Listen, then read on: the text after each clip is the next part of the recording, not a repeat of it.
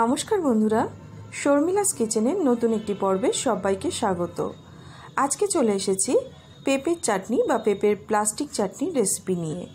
খুবই সহজ একটি রেসিপি এবং খুবই চটজলদি তৈরি হয়ে যায় এই প্লাস্টিক চাটনি। চলুন তাহলে দেখে নেওয়া যাক রেসিপিটি। প্রথমে কাঁচা পেঁপের খোসা ছাড়িয়ে ভেতরের বীজের অংশটা বাদ দিয়ে পেঁপেটাকে এরকম পাতলা পাতলা করে কেটে নিতে হবে। আপনারা দেখতেই পাচ্ছেন, আমি কতটা পাতলা করে পেঁপেটাকে কেটেছি। ঠিক এইভাবে প্রথমে পেঁপেটাকে কেটে নিতে হবে। পেঁপেটাকে প্রথমে সেদ্ধ করে নেব। তার জন্য কড়াইতে জল দিয়ে দিলাম। এবার এর মধ্যে দিয়ে দিচ্ছি কেটে রাখা পেঁপেগুলো।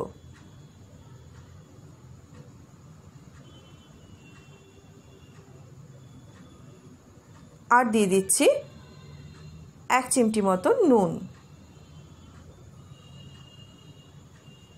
এবার এটাকে ঢাকা দিয়ে রাখব সেদ্ধ হওয়ার জন্য। মোটামুটি পাঁচ মিনিট মতন রান্না করার পরই এখন দেখুন পেঁপেটা বেশ ভালো সেদ্ধ হয়ে গেছে। এবার এর মধ্যে চিনিটা অ্যাড করছি।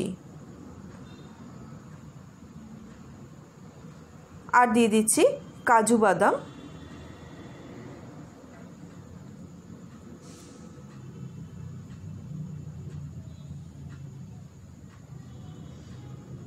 এভাবেই এটাকে রান্না করতে হবে যতক্ষণ না চাটনিটা একটু ঘন হয়ে যাচ্ছে।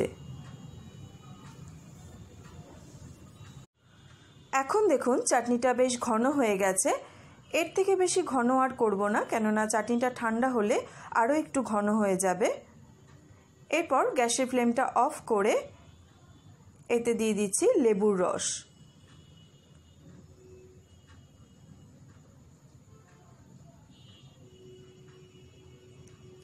লেবুর রসটা ভালোভাবে মিশিয়ে নিলেই কিন্তু পেঁপের প্লাস্টিক চাটনি একদম রেডি।